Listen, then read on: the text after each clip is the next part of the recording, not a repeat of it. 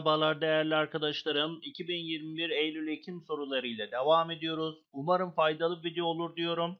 Ehliyet Hocam kanalını Instagram'dan ehliyet.hocam adresinden takip edebilir. Yine abone ol butonuna tıklayarak arkadaşlar ücretsiz bir biçimde abone olabilirsiniz.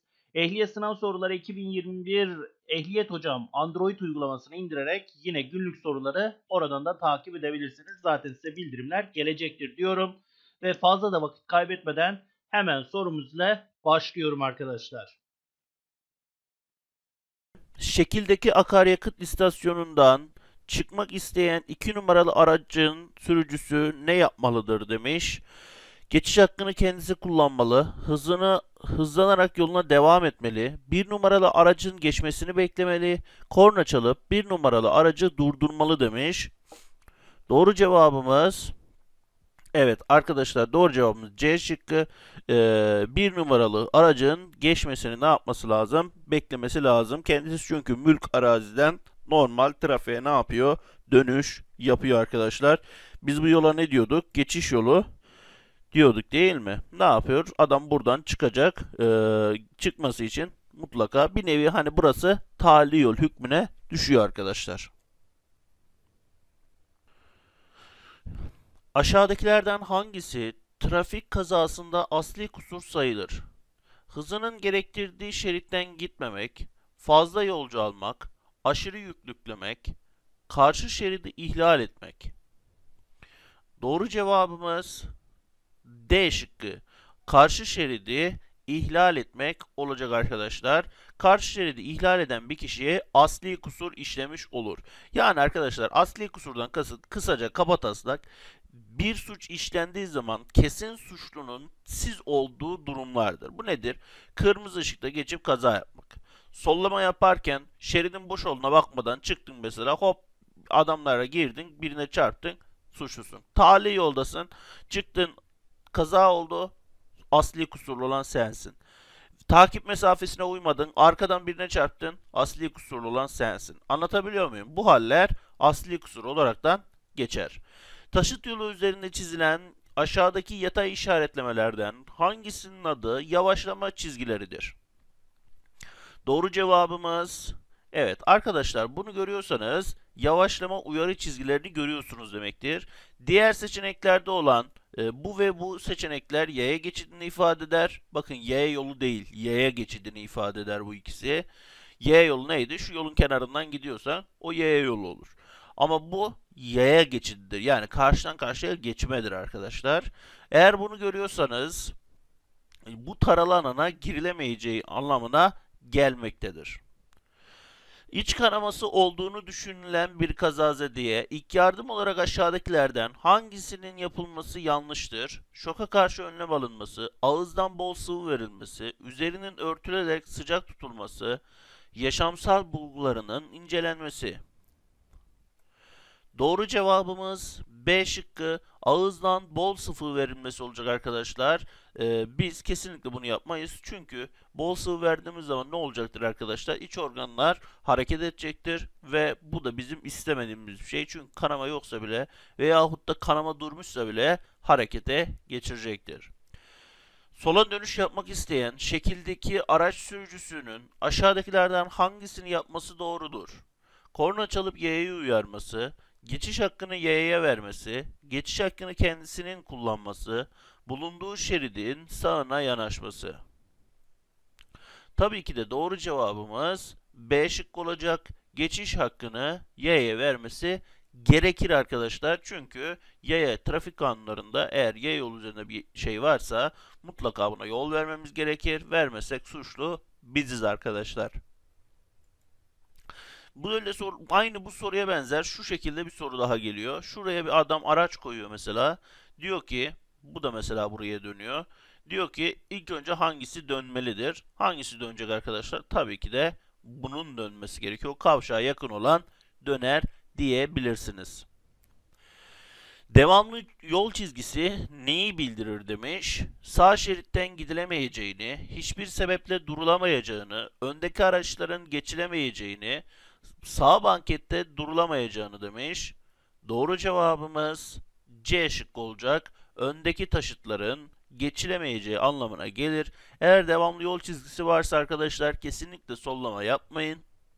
Zira ya önünüz gözükmüyordur ya keskin bir viraj vardır ya da ne bileyim işte yani hani mutlaka bir sebebi vardır yani boş yere adam onu koymaz sonra imam amca ile tanışmak zorunda kalırsınız. Şekildeki taşıtların seyrettiği taşıt yolunun çizgilerle ayrılmış her bir bölümüne ne ad verilir? Bölünmüş yol, iki yönlü yol, banket, şerit şıklarda verilmiş. Doğru cevabımız D şıkkı şerit olacak arkadaşlar. Bunların her bir bölümüne şerit denilir. İki yönlü yolda nasıl olur arkadaşlar? Oklar ne yapar? Bir, bir ok böyle vardır. Ya da araçların önündeki oklar bir ok böyle vardır. Bu zaman iki yönlü yol deriz. Burada büyük ihtimalle tek yönlü yol var. Nereden anladık? Bak şu şekilde ne yapmış? Bize ok yönüyle göstermiş. Ee, ama yine yine e, kesik çizgilerin olması nadiren de olsa karşıdan da arabaların geldiği yani buranın çift yönlü olduğunu bizlere ne yapar? Anlatır. Ama bizim asıl buradan temel anlayabildiğimiz şey buraların birer şerit olması. Hazır böyle görmüşken yol tanımlarına da biraz girmek istiyorum. Arkadaşlar banket dediğimiz yer yol çizgisinin bittiği yerden itibaren e, şev başına kadar yani şuraya kadar olan yere banket denilir.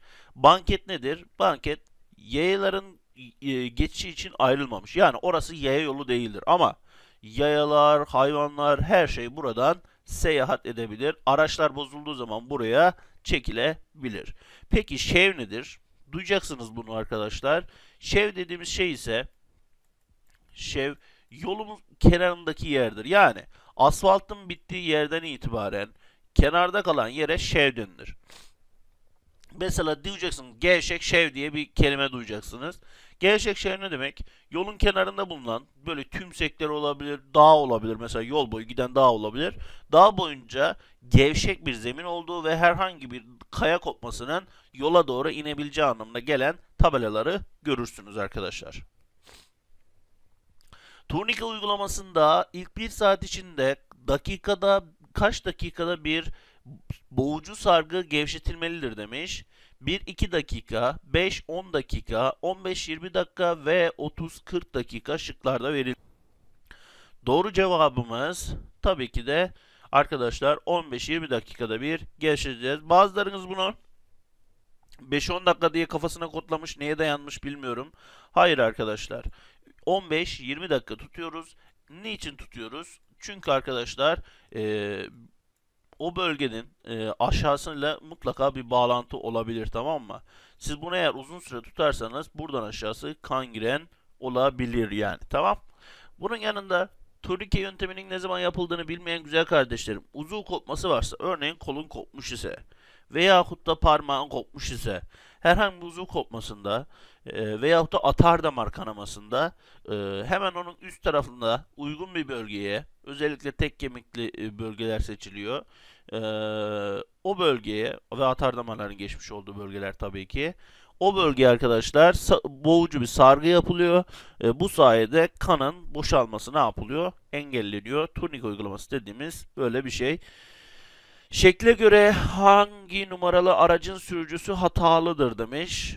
A1, B2, C3, D şıkkı ise 4 demiş. Doğru cevabımız C şıkkı olacak. 3 numaralı aracın hatası A şıkkardır arkadaşlar. Neden? Kendisi gördüğünüz gibi sollama yapılmaması gereken devamlı çizgide ne yapmış? Sollama yapmış. Arkadaşlar devamlı çizgi kimin tarafında ise sollama o tarafa yasaklanır. Örneğin bakın bu tarafta ne var? Kesik çizgi var. Yani bir numaralı araç eğer yol uygun olmuş olsaydı ne yapabilirdi? Sollama yapabilirdi. Vücudumuzdaki yapı birimlerinin küçükten büyüğe doğru sıralanışı aşağıdakilerden hangisindeki gibi olur demiş. Direkt doğru cevap veriyorum arkadaşlar. Durdurup siz bakabilirsiniz. Doğru cevabımız e, C şık olacak arkadaşlar. Zira hücreler birleşerek dokuları, dokular birleşerek organları, organlar birleşerek sistemleri oluşturur. Daha açık anlayabilmeniz için gözle görülemeyecek kadar küçük olan hücreler birleşerek karaciğerin üzerindeki siyah noktaları oluşturur. Bu noktalar dokudur. Doğru mu? Evet. Dokular, o siyah doku bir araya gelerek neyi oluşturur arkadaşlar? Evet, karaciğer oluşturur. Yani bir organı oluşturur. Daha sonra devam ederiz. Akciğerde olabilir bu organ bu arada. Devam ediyoruz. Sistem demiş. Örneğin akciğer bir yere dahil olup kalple beraber neyi oluşturuyor? Kalp de işin içine giriyor mesela. Solunum sistemini oluşturuyor. Anlaştık. Bu şekilde anlaş anlayabilmeniz için biraz daha açmak istedim. B sınıfı sürücü belgesine sahip olan bir sürücünün kullanabileceği diğer sürücü belgesi sınıfı aşağıdakilerden hangisidir? A2, E, M ve G şıklarda verilmiş. Doğru cevabımız M şıkkı. Arkadaşlar size mopedi de ne yapıyorlar? Veriyorlar. Elektrikli, elektrikli bisiklet vesaire kullanabiliyorsunuz. Ee, A2 biliyorsunuz motosiklet. E sınıfı sürücü belgesi arkadaşlar artık kaldırılmıştır. E sınıfı denilen bir şey yok. Daha çok artık mesela C, E diye geliyor karşımıza. Ne anlama geliyor? Mesela diyelim ki hepinizin birçoğunuzun aldığı bir şeyden örnek vereyim. BE diye geldi. Arkadaşlar B ne demekti? Arabaydı. E ne olur? Arkasına bir römork takılıyorsa BE. Yani römorklu araba kullanacak bir kişi BE ehliyetine sahip olmalı şeklinde tanımlıyoruz. G sınıfı ise iş e, iş e, makinelerini kullanacak olan kişiler için geçerli e, diyelim ve devam edelim. Haritada yeri gösterilen illerden hangisi daha güneydedir demiş. Doğru cevabımız evet Konya olacak arkadaşlar. Yine burada arkadaşlar neye dikkat etmeniz gerekiyor? Evet şu harita yön oku arkadaşlar. Her haritada bulunur. Bulunmazsa da zaten bilhassa Kıbrıs'tan e, yön tayini yapabilirsiniz. Kıbrıs bizim güneyimizdedir arkadaşlar. O halde en güneydeki ilimiz hangisi olacak? Konya olacak. Burası güney ise zıttı neresidir arkadaşlar? Burası kuzeydir. Doğru mu? Evet. O halde size şöyle bir soru. En kuzeydeki ilimiz hangisidir? Trabzon'dur. Tamam. En batıdaki ilimiz hangisidir? Evet. Nasıl olacak? Evet arkadaşlar. En batıda Uşak var. Haritada. Peki en doğuda hangi ilimiz var? Gidip eğer Sivas'ı işaretliyorsanız yanlış yapıyorsunuz demektir. Çünkü en doğudaki ilimiz en kuzeyde de olan Trabzon'dur arkadaşlar. Tamam. Böyle hatalara düşmeyin. Seviliyorsunuz. Yutkunma, öksürük gibi reflekslerin ve dışarıdan gelen uyaranlara karşı tepkinin azalması ya da yok olması haliyle ortaya çıkan uzun süreli bilinç kaybına ne denir? Sarakoma, bayılma ve halsizlik şıklarda verilmiş. Doğru cevabımız koma olacak arkadaşlar. Koma sırasında tüm refleksler ne yapar? Kendini yitirir. Ee, koma hali uzun süreli de olabilir. Ekseriyetle e, uzun süreli ve e, nasıl desem bitkisel hayat gibi sürer arkadaşlar. Şokla karıştırmayın. Şokta nasıl bir durum vardı? İşte beyne kan gitmiyor. Bayılmaya benzer bir durum vardı arkadaşlar. Motor yağ seviyesi normalin çok altındayken motor çalıştırılırsa ne olur demiş. Doğru cevabımız evet. Arkadaşlar motor aşırı ısınarak zarar görür. Parçalar birbirine kaynar. Biz de buna halk arasında motor yatak sar diye bir isim takarız. Motorun çok soğuması, motor yakıtına yağ karışması veyahut da motor suyuna yağ karışması ile böyle bir şeyin alakası yok. E, motorun yakıtı veyahut da e, suyuna yağ karışmasından bahsediyorsa hangi parçada bir sıkıntı vardır? Contada sıkıntı vardır arkadaşlar. Aralara konulan contalar vardır arkadaşlar. Bu contalar gitmiş olabilir. Bunu da götürtüp ne yapabilirsiniz? Contalarını değiştirtip veyahut da yerine yenisini taktırabilirsiniz.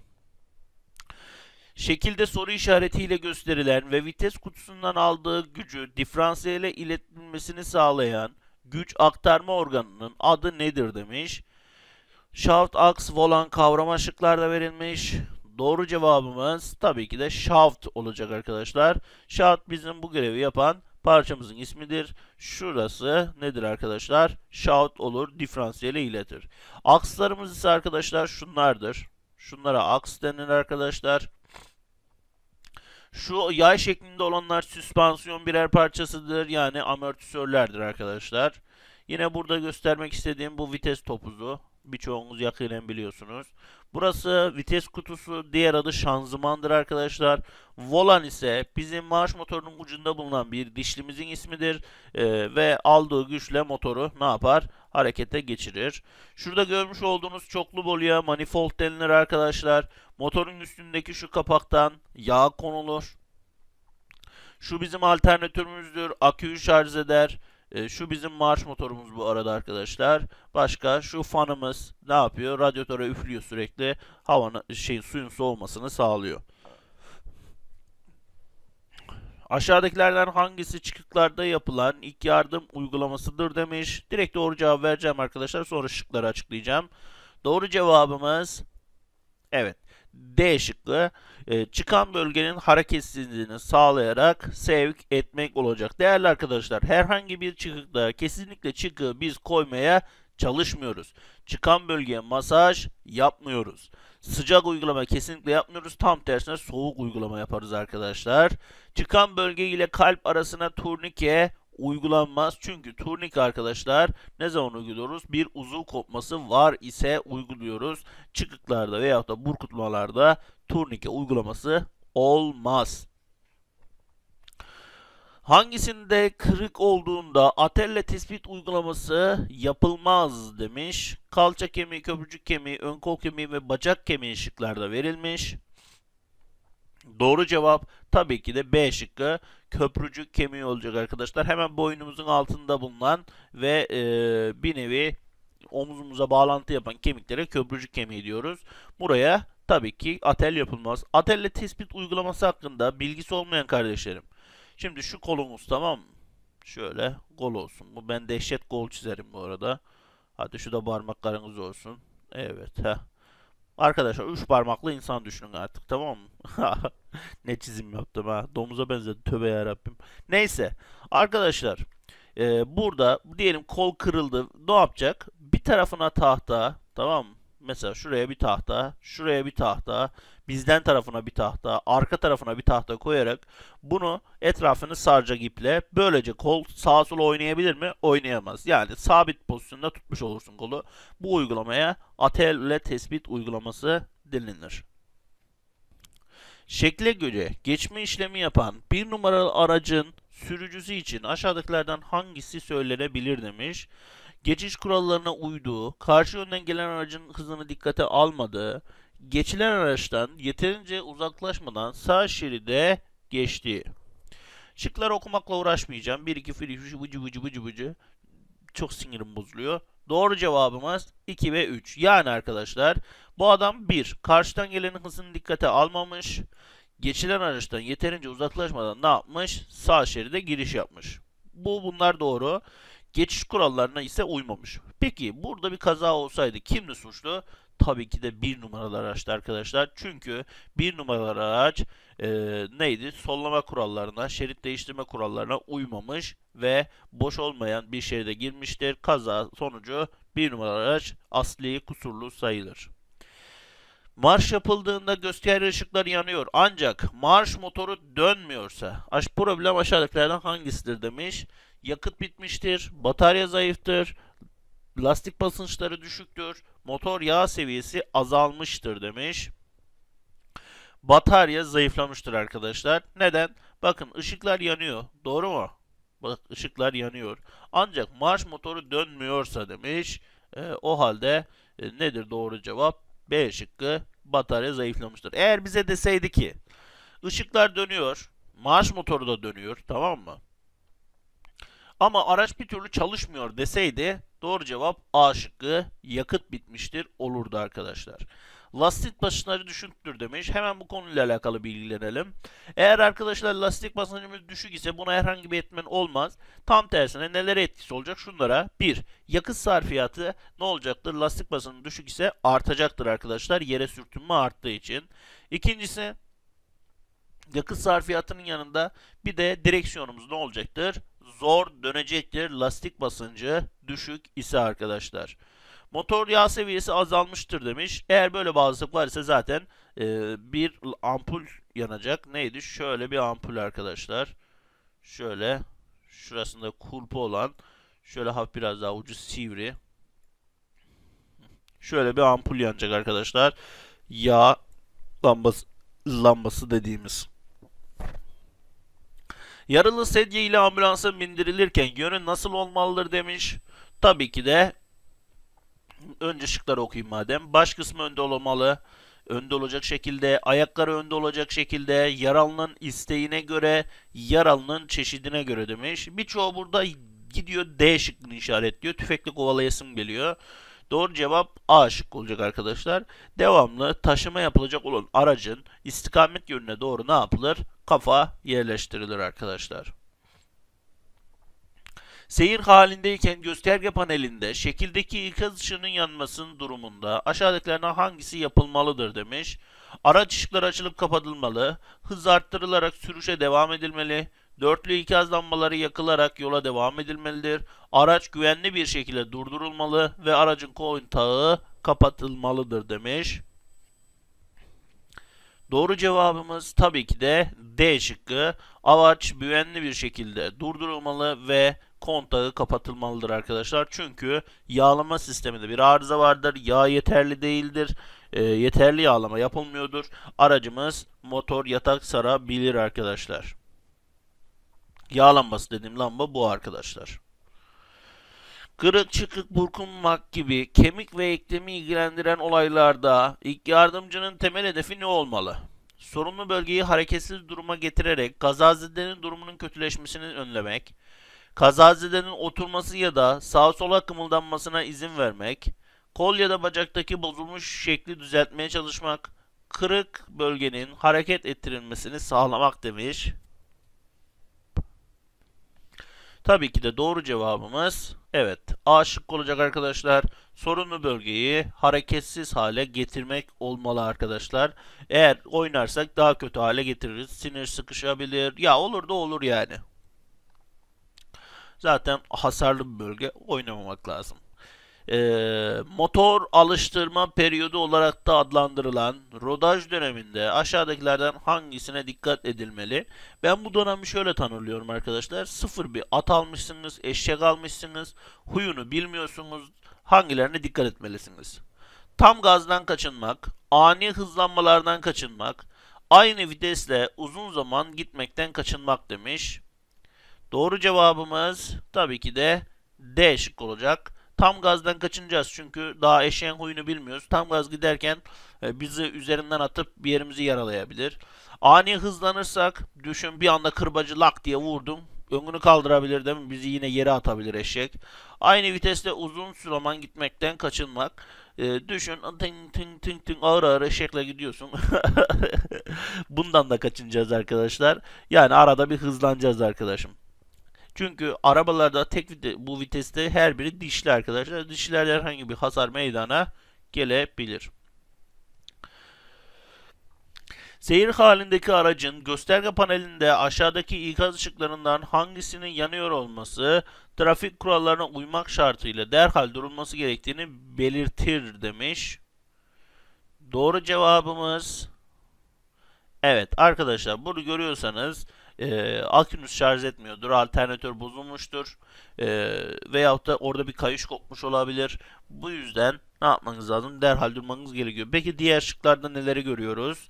Arka cam ısıtma rezidansı, herhangi bir buğulanma falan olduğu zaman arka camda bunu açarsınız. Evet uzun farlar açık demektir. Mavi yanar. Bunu görüyorsanız arkadaşlar sola sinyal lambasının açık olduğunu bizlere bildirir. Aracın direksiyonu zor dönüyorsa sebebi aşağıdakilerden hangisidir demiş. Lastik hava basınçları tavsiye edilen değerden fazladır. Lastik hava basınçları tavsiye edilen değerden azdır. İnce taban lastik kullanılmıştır. Arka lastikler aşınmıştır demiş. Aslında bu sorunun cevabını az önce verdim arkadaşlar ben. Neydi? Tabii ki de lastik basınçları eğer az ise zor döner ve yakıt sarfiyatı ne yapar? Artar arkadaşlar. İniş eğimli yolda seyreden araç sürücüsünün aşağıdakilerden hangisini yapması yasaktır? Düşük hızda seyretmesi, çıkışta kullandığı vitesi kullanması, hız azaltmak için frene basması, vitesi boşa alarak seyretmesi demiş. Arkadaşlar kesinlikle vites boşa alınarak karayollarında seyir yasaktır. Bunu yapmayın arkadaşlar. Eğer herhangi bir durumda aracınız stop ederse 1. Direksiyon çalışmaz çünkü hidroliktir. 2. Başka ne çalışmayacak direksiyonun yanında? Evet, fren çalışmayacaktır. El freni çalışır sadece. Ee, el freni de sizi durdurmaz arkadaşlar. Devam ediyorum. Vitesin boşalanarak seyredilmesi konusunda. Başka neyimiz olacaktır arkadaşlar? Direksiyon kitlenecektir ve bizim istikamet takibimiz böylece ne olacak? Bitecektir. Ondan sonrası İmam amca ve pamuğuna kalmış. Yeniden, yenilen canlandırma basamaklarının sıralaması hangi seçenekte doğru şekilde verilmiştir? Demiş. Direkt doğru cevaba geçiyorum arkadaşlar. Hem de öğrenmeniz amacıyla. C şık olacak. 4, 1, 3, 2. Yani önce arkadaşlar ağzının hava yolu açıklığını kontrol ediyoruz. Herhangi bir yabancı isim var mı? İşte takma, diş, sakız vesaire var mı? Daha sonra suni solunum uygulaması için baş çene pozisyonu veriyoruz. Çene yukarıya çekilir, baş geriye itilir. Böylece ne olmuş olur? Solunum yolu rahatlamış olur. Daha sonra ağzımızı alıp ne yapıyoruz? Üflüyoruz. Eğer arkadaşlar yetişkinse direkt sadece ağzına, eğer bebekse ağız ve burnuna birlikte yapıyoruz. Devam edelim. Ee, ikinci olarak yani 3 2'yi söyledik, 3'ü söylüyorum. Ee, kalp masajını uyguluyoruz. Çünkü dolaşımı değerlen pardon, kalp masajı uyguluyoruz demişim. Dolaşımı değerlendiriyoruz ve en sonda kalp masajı uygulamamızı yapıyoruz. Aşağıdakilerden hangisi yakıt tüketiminin artmasında araçtan kaynaklanan kusurdur? Güzel insanlar bu soruda bak neyse önce yapayım. Aşırı hız yapılması, debriyajın kaçırması, ani duruş ve kalkış yapılması, düşük kalitede yakıt kullanılması. Soruyu okuyan kardeşim sorudan sonra diyor ki ya diyor bunların hepsinde yakıt tasarrufu şey fazla yakıt gider diyor. Yakıt tüketimi artar diyor. Soru mu yanlış acaba diyor. Hemen paniğe düşüyor. Ama şurada bir bize ne vermiş? bir şey vermiş arkadaşlar. Ne demiş? Araçtan kaynaklı demiş. O zaman doğru cevabımız debriyajın kaçırması olur. Eğer araçtan kaynaklı demede, demese de sürücüden kaynaklı deseydi aşırı hız yapmak, ani duruş ve kalkış yapmak ve düşük kalitede yakıt kullanmak olacaktı arkadaşlar. Yine lastiğin lastik hava basınçlarının düşük olması ve bu sebepten dolayı yakıt tüketiminin artması da yine neyle ilgilidir arkadaşlar? Araçtan kaynaklanan kusurlarla ilgilidir. Karayolunda ticari olarak tescil edilmiş bir motorlu taşıtı süren kişiye ne ad verilir demiş. Doğru cevabımız şoför olacak. Eğer ticari ise şofördür arkadaşlar. Derse karayolunda motorlu taşıtı süren kişiye ne ad verilir derse o zaman da B şıkkı sürücü olur. Ticari kelimesi şoför, ticari yoksa sürücü diyeceğiz. Fren pedalına basıldığında fren lambaları yanmıyorsa sebebi aşağıdakilerden hangisidir demiş. Flaşör arızalıdır, dispiratör arızalıdır, fren müşürü arızalıdır, geri vites müşürü arızalıdır demiş. Doğru cevabımız evet C şıkkı olacak arkadaşlar. Fren müşürü arızalıdır diyelim. Yine mesela diyelim ki e, neyse soru gelmiş. Hararet yapmış bir motorda radyatör suyu çok sıcak değilse aşağıdakilerden hangisinin arızalı olduğu düşünülür demiş. Benim kurban oldum burada gidiyor. A şıkkı fan müşürünü işaretliyor. Doğru cevap arkadaşlar nedir? Termostatın olacak. Termostat arızalıysa arkadaşlar ısı veya da soğuklukla ilgili veriler yanlış gelecektir. Hangisi yüksek ateş nedeniyle oluşan havalede yapılacak ilk yardım uygulamalarındandır? Karna baskı uygulanması, sıcak uygulama yapılması, şekerli içecek verilmesi, oda sıcaklığında bir küvete sokulması demiş. Bir arkadaşımız da bunları yaparken arkadaşlar o demişti ki böyle bir soruydu. Ee, ben annem hep küvete sokuyor demişti. Doğru cevap D şıkkı arkadaşlar. Herhangi bir ateş yükselmesinde yapılan e, özellikle havaleye giden bir ateş yükselmesinde oda sıcaklığındaki suya çocuğu ne yaparız? Sokarız. Aksine bir işaret bulunmadıkça otoyolda minibüs ve otobüsler için azami hız saatte kaç kilometredir? 80, 90, 100, 110 şıklarda verilmiş. Doğru cevabımız C şık olacak. 100 olacak arkadaşlar. Aşağıdakilerden hangisi fren sisteminin görevlerinden biri değildir?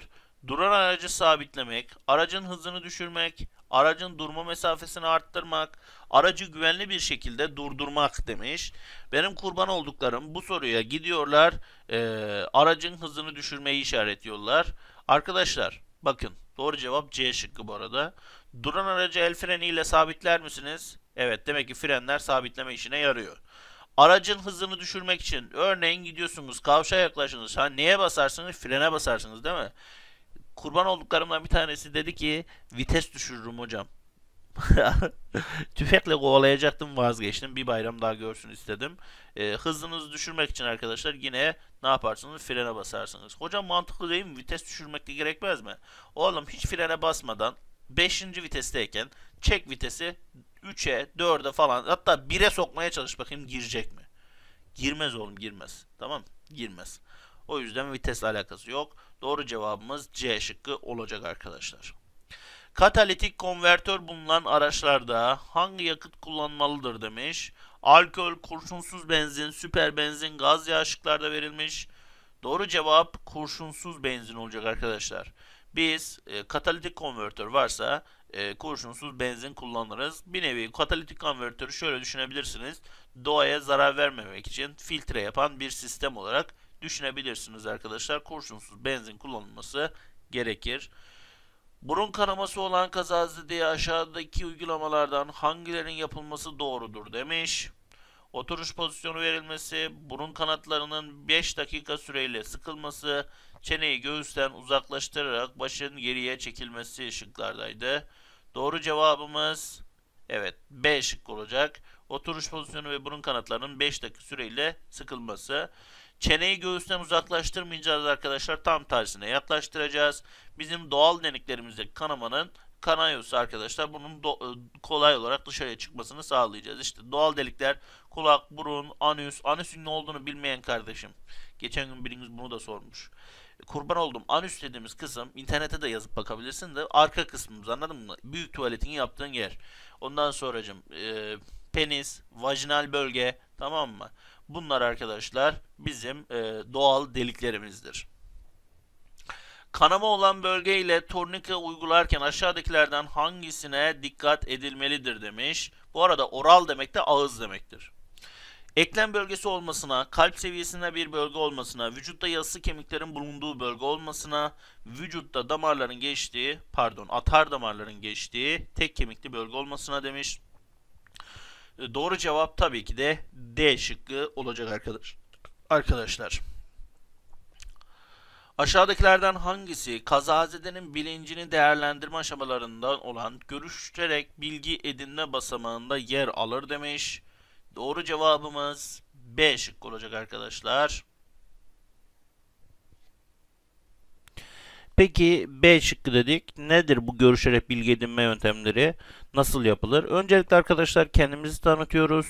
Ee, hasta ve yaralının ismini öğreniyoruz. Ona adıyla hitap edebilmek için. Ee, hoşgörülü ve nazik davranmamız gerekiyor. Böylece karşı tarafta ne sağlıyoruz? Güven sağlıyoruz arkadaşlar. Hastaya da yaralanan endişelerini gidererek rahatlatmaya çalışıyoruz. Ya bir sakin ol diyoruz. Bir şey yok tamam her şey rahat olacak. Ee, daha sonra arkadaşlar olayın mahiyeti, koşulları, işte kişisel özgeçmişleri, ee, sonuç olarak ne yiyip içtiği yani ne yiyip içtiği de önemli değil mi? Ee, kullanılan ilaçlar varsa alerjisi alerjisinin ne olduğunu sorularak öğrenilmesi yapılır arkadaşlar e, görüşerek bilgi edinme sırasında. Dizel motorlu aracın gösterge panelinde bulunan şekildeki uyarı lambasının yanıyor olması neyi bildirir? Fren hidrolik seviyesinin düştüğü, arka sis lambasının yanmakta olduğu, ön sis, e, ön ısıtma bujilerinin çalışmakta olduğu, egzozdan çevreyi tehdit edecek boyutta gaz yayıldığı demiş. Doğru cevap C şık olacak arkadaşlar. Isıtma bujilerinin çalışmakta olduğunu bizlere bildirir. Yağ pompasının pompaladığı yağı süzerek içindeki yabancı maddeleri temizleyen yağlama sistemi parçası aşağıdakilerden hangisidir? Enjektör, hava filtresi, yağ filtresi, yakıt filtresi. Doğru cevabımız C şık olacak. Yağ filtresi olacak arkadaşlar. e, arkadaşlar eğer havayı temizliyorsa havadır tamam mı? Yağı temizliyorsa yağdır. Yakıt temizliyorsa yakıt filtresidir tamam mı? Bunun için kafayı zorlamaya gerek yok. Enjektör hangi motor tipinde bulunur diye bir sıkıntı soru gelirse arkadaşlar dizel motorlarda bulunur. Yakıtla ilgili bir bölümdür arkadaşlar. Yakıtı püskürtmeye yarayan e, olaylardan bir tanesi böyle. E, enjektörler tıkalı derler hatta herhangi bir durum olursa. Dizel motorlarda bulunduğunu bilin yeterli arkadaşlar enjektörün. Şekildeki gibi ışıklı trafik işaret cihazında sarı ve kırmızı ışığın birlikte yandığını gören sürücü ne yapmalıdır? Harekete hazırlanmalı, yolun en sağına yaklaşmalı, dönüş yapacağı yola girmeli, yaya geçidini kapatmadan durmalı demiş. Doğru cevap harekete hazırlanmalı olacak arkadaşlar. Eğer sarı ve kırmızı e, şey evet sarı ve kırmızı aynı anda görüyorsanız kalkışa hazırlanmalısınız çünkü birazdan yeşil ışık yanacak demektir. Eğer yeşilli sarı diyorsa birazdan yol kapanacak anlamına gelir arkadaşlar. Eğer kırmızı yanıp sönüyorsa burası geçiş hakkı size ait değildir. Durup ondan sonra geçmeniz gerekir. Sarı yanıyorsa geçiş hakkı size aittir ama dikkatli geçilmesi gerekir arkadaşlar.